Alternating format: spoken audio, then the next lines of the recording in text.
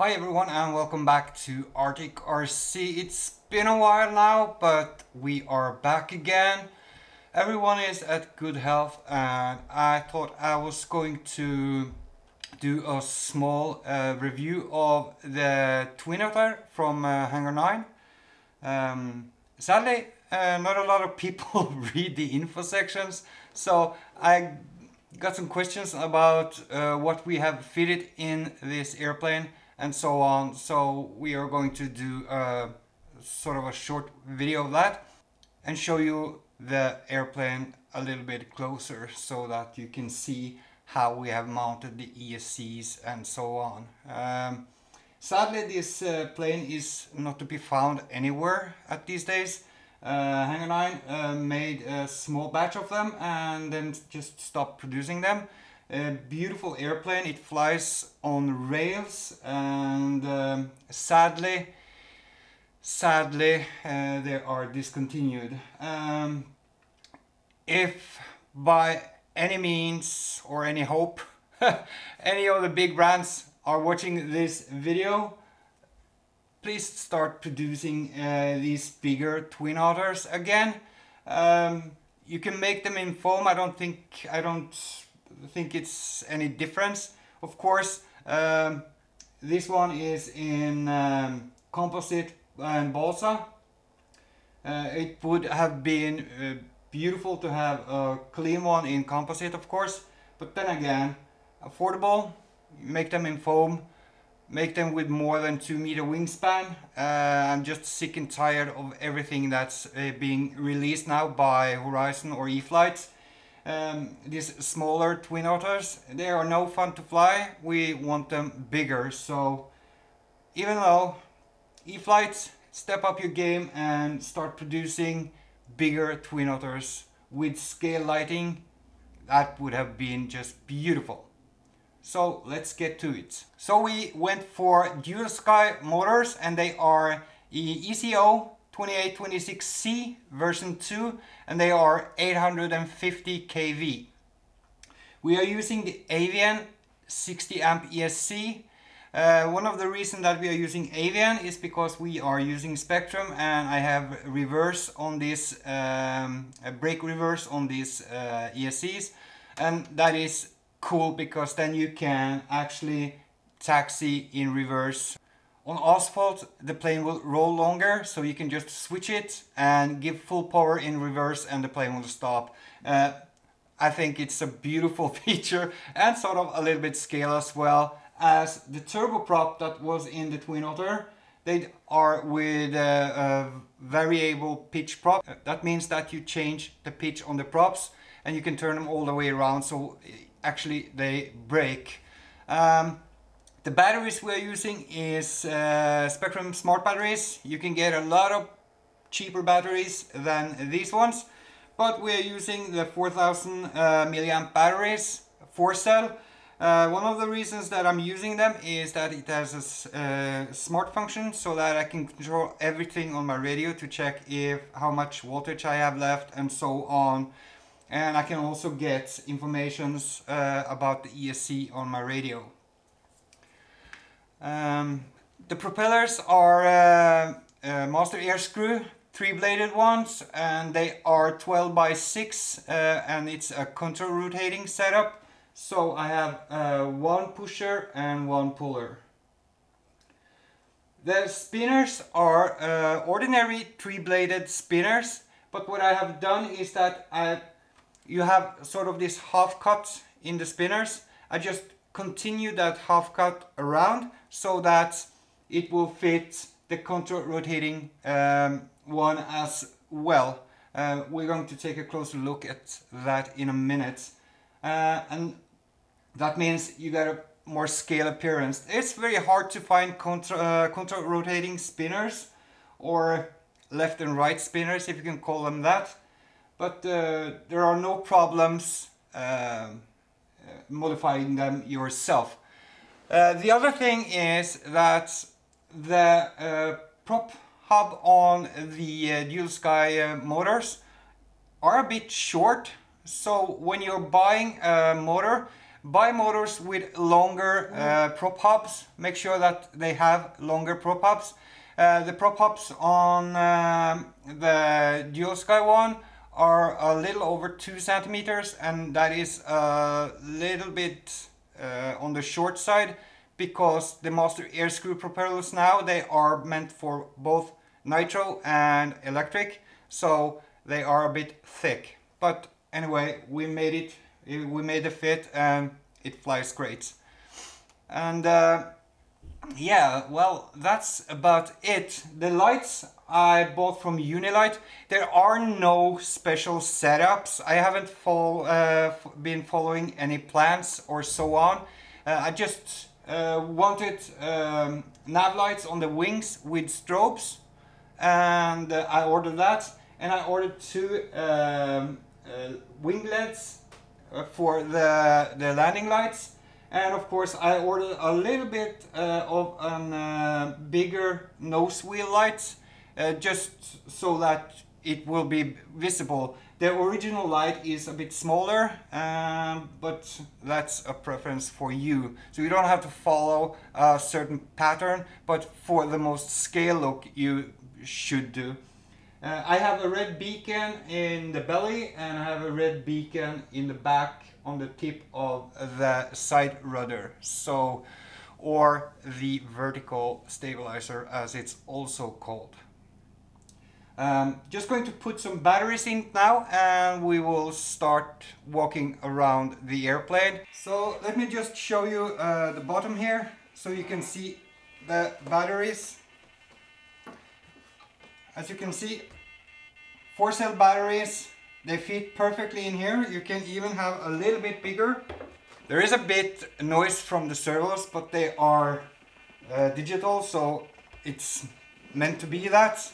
Here you can see the red beacons. Uh, this is the startup.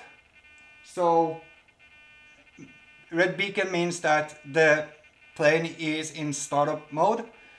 And on a switch my light switch in position 2 I will have uh, nav lights and strobes on the wings you can't see them that good right now yeah now you can see it pretty, pretty beautiful. Um, the nav lights the colored light red and green and of course the strobe on the front here. So when it's in the air it's just visual a beauty.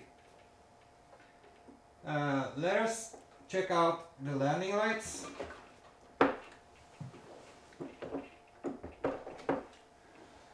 So when I'm doing uh, this video now, just make sure that you know um, the plane is set on throttle cut. Um, the newer receivers from uh, Spektrum you can go into um, settings on your radio forward programming and of course also set up your uh, failsafe in a very easy way.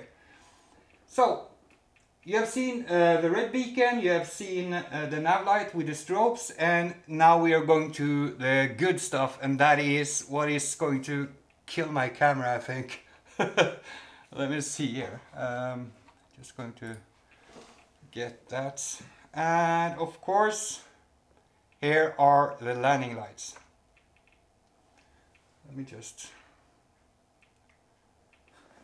these these are so bright they are insane bright uh, all the flights that we have with it we when you just have flown for a while and you're going to find your landing line and you're done your turn and the plane is coming in with the full flaps and everything and you just put on these lights it's just like watching the real thing and it's just beautiful.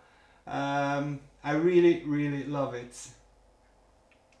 Uh, it's not that much work to fix and put uh, play um, the LED lights in or the Unilights, uh, but I'm not too good with wiring, so it's a mess inside. Uh, so when you are doing this or you're going to modify your uh, twin otter, make sure that you know how to solder and how to make perhaps easy connectors so that um, connecting all the wires when you are at the airfield will not take too long. Um, This one now will never be uh, taken apart again because I've made a special rack for it in my hangar or my my um, yeah you know uh, my trailer.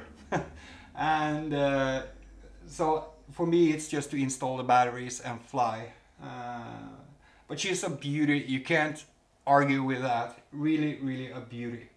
Now we're going to do some tests with the motors. I'm going to turn off the landing lights. The motor setup, as you know, is uh, forward and reverse on this because we have the uh, Avian ESCs. Uh, now, nowadays, uh, you will get many other ESC that will have the reverse function on them, so you're not uh, you you do not need to buy Avian ESCs.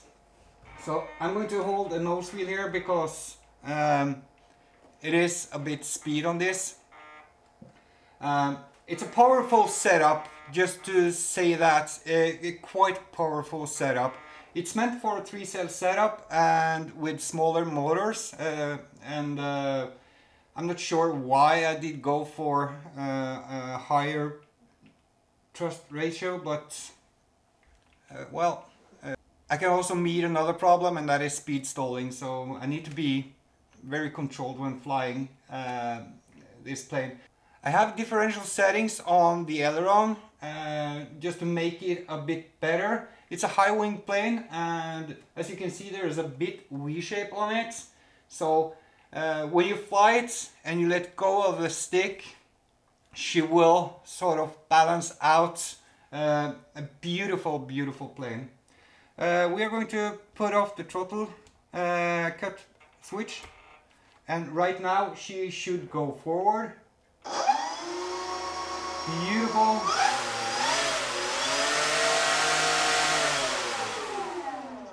Beautiful sound on the motors and we can, I can just show you with a little bit of speed like this. I just switch uh, the uh, reverse switch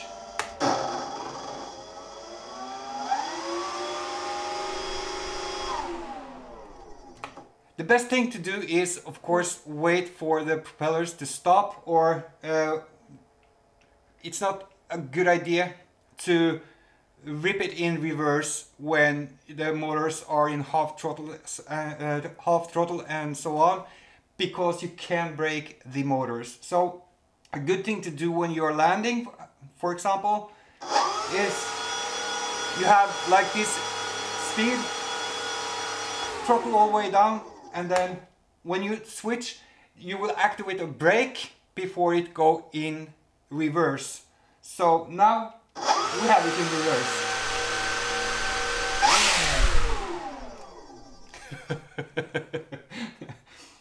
It is a powerful setup indeed. Beautiful. So back on with the throttle cuts like that and we are good to go. Let's go around the plane now. I'm going to hook off the camera and show you a little bit the lights and so on. So um, there you have it. That is the Hangar 9 Twin Otter. You have my setup and if you can get if you can get your hand on one, just do it, even if it is uh, second hand. I would highly recommend this airplane. I know that uh, VQ models also have one, it's a 1.7 or 1.8 meter wingspan, but it's not, it's not that scale. The nose wheel on this one is beautiful. You can change that on the VQ model, of course, but then again, it is so beautiful. So it is one of my favorite airplanes. Uh, I'm a bit um, I'm a bit afraid to fly it because I'm so scared that I'm going to crash it. So I've been wondering about selling it. I will not ship it to America. but um, but uh, then again, it is what it is. So um, perhaps I will just fly it and uh, yeah, what happens happens. So I made a hole in the firewall. Uh, it's not uh, beauty work, but that is for more cooling for the ESC because for you guys that saw the maiden flight, uh, I had problems with the ESCs shutting down because they were too hot. Uh, now there's no problem at all. So here we can see how I cut the spinner. Just made a circle around and it will fit both sides. And as you can see, um, there's a lot of room for batteries here, but I need to cut down those bolts, as you can see, because they can rip hole in the batteries. So uh, I will cut them down and put a plywood plate in front of them so they will not be in touch with the battery. Vertical fin beacon.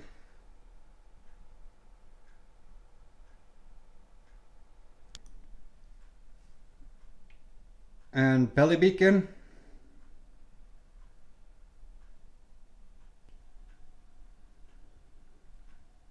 green nav light with the strobe and red nav light with a strobe. Beautiful. And wing landing lights.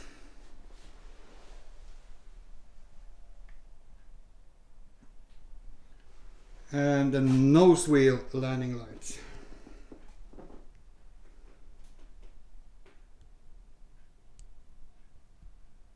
So that is it my friends and subscribers. Um, it is the Hangar 9 Twin Otter and all the goodies that's in it. Um, on the next video we are going to have a half year startup on uh, the Wilga because it's been sitting now for uh, almost four months on the shelf and we need to start it up, uh, let it run for half an hour so that the motor is more healthy uh, towards when we're going to start flying it again and we still need some more tune-up on the engine so it will be great for it just to run on idle for a little bit but um, for today it is the Twin Otter with a UniLight electric setup. Until next time, see you guys. Have a great weekend and I will check in again pretty soon.